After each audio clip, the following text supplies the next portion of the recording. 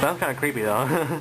EAS test. This is a test of the National Emergency Alert System. There is no actual emergency. It would be kind of creepy. What? Oh, um. Okay.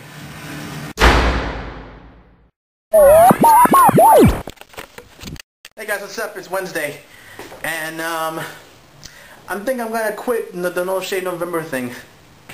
You know, I, what happened was like yesterday, a couple girls, a lot of girls actually from, stuff, uh, said saying that I look better without facial hair. I look better just having a baby face, you know, clean cut. You know what I mean?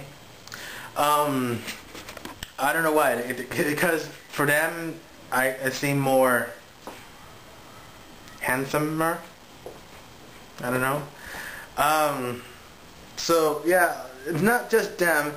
Other, others, my friends as well, like family, like, like, dog, just shave your beard, man. You don't look good with beards and mustaches, man. You know, like, and I'm like, I'm doing this No Shave November. I gotta keep up, you know.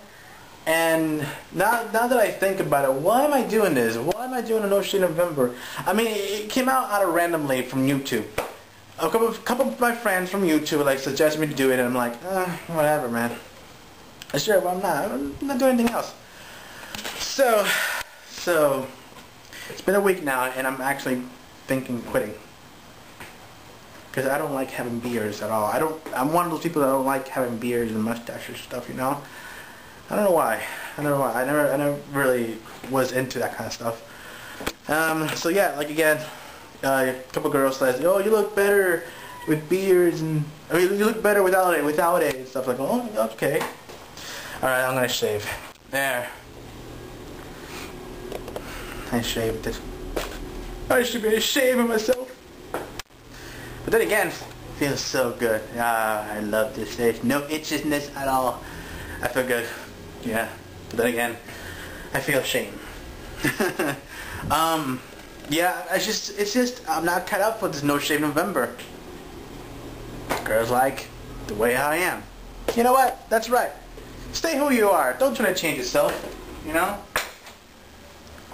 Because people are going to like you who you are, not who you're trying to become.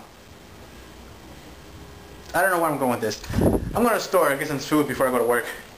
Not food, actually drink. That's a funny looking plane. Oh, it's gone. Oh well.